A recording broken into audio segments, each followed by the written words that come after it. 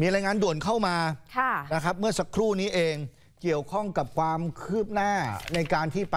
หาตัวคนที่อยู่ในอุอ๋โมองค์ใช่ไหมเนี่ยคะ ก็คือล่าสุดค่ะ คุณผู้ชมคะ พบคนงานรายแรกแล้วนะคะ ที่เรา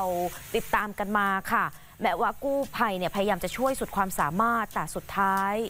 ไม่มีลมหายใจแล้วค่ะโอ้เสียชีวิตนะคะคุณผู้ชมครับทีมข่าวได้รับการเปิดเผยจากนายเอกรัตน์ศรีอารยันพงศ์เป็นหัวหน้าสำนักงานผู้ว่าการการรถไฟแห่งประเทศไทยค่ะ เปิดเผยความคืบหน้าสถานการณ์การช่วยเหลือแรงงานที่ติดค้างภายในอุโมงค์นานเกือบ 5 วันเนี่ยนะคะ ล่าสุดเมื่อช่วงเวลา 11 นาฬิกาได้รับการยืนยันจากทีมกู้ภัยของการรถไฟ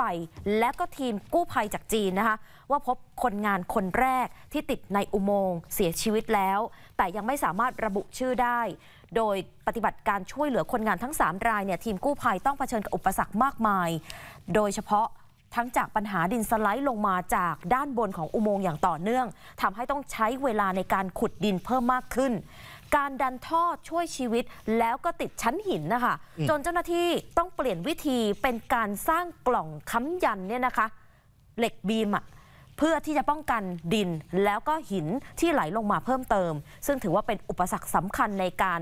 ให้ความช่วยเหลือนะคะครับนอกจากนี้ทางทีมกู้ภัยยังคงทำงานกันอย่างหนักตลอด 24 ชั่วโมง เพื่อเร่งค้นหาคนงานที่เหลืออีก 2 รายค่ะ ซึ่งห่างไปอีกนะคะหลายเมตรเลยไกลสุดคือ 14 เมตร ทีเนี้ยก็ยังคงมีความหวังนะคะ ว่าจะสามารถให้การช่วยเหลือได้ทัน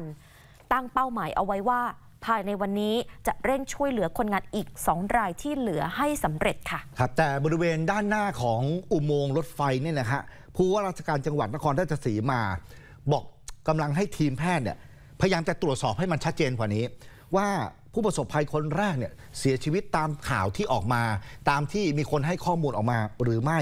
นะครับแจ้งอ่าส่วนตัวขอให้ทีมแพทย์เป็นคนยืนยันข้อมูลค่ะแจ้งเรื่องเข้ามาก่อนจึงจะสามารถระบุถึงข่าวนี้ได้นะครับโอ้ค่ะ